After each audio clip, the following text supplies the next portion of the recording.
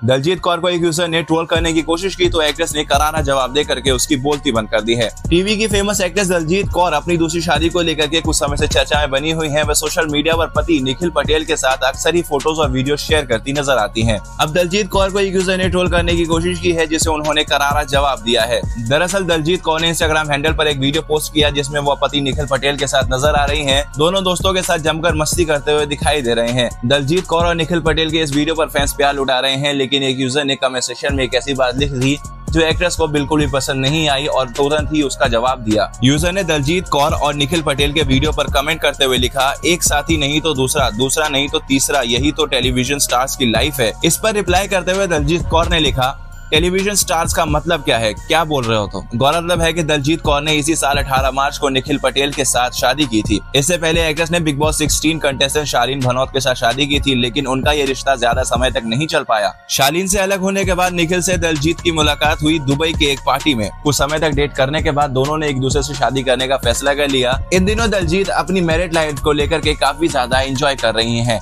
कैसी लगी आपको ये न्यूज़ कमेंट सेक्शन में ज़रूर बताएँ। वीडियो पसंद आई हो, वीडियो को लाइक कीजिए चैनल को सब्सक्राइब कीजिए और डेली बॉलीवुड अपडेट्स के लिए हमारे चैनल के साथ जुड़े रहें। Thanks for watching